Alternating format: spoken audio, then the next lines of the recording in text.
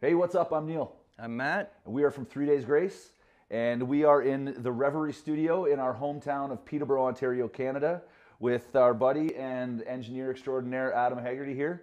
Uh, we're going back out on tour on Tuesday, but we're kind of workaholics, so we're in the studio doing some work on a few things. And we thought we'd take the opportunity to, uh, to, to give you a breakdown of our newest single, I Am the Weapon. I Am the Weapon is about, you know, being pushed around too much, and uh, you can only take so much until you snap and uh, turn into the weapon. So let's check it out. All right. So there's kind of a couple guitar parts going here. One that's kind of following that riff, and then one that's kind of more of a picking part, and then it right into the chorus.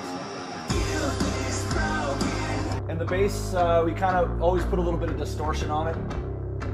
You can hear that that's got a little bit of a bite.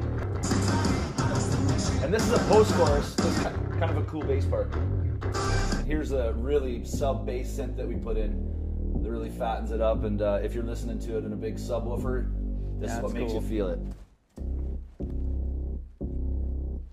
Yeah. So, you know, this song has an interesting arrangement because it, it sort of has two choruses. This is the second of two choruses, basically. There's not a lot going on, you know. Three Days Grace has always been uh, a band where we um, try to be minimalists when we can. I think that if we add, yeah, add too much stuff uh, into the music, sometimes it can take away from It just gets jumbled, and then, yeah, it takes away from the song itself.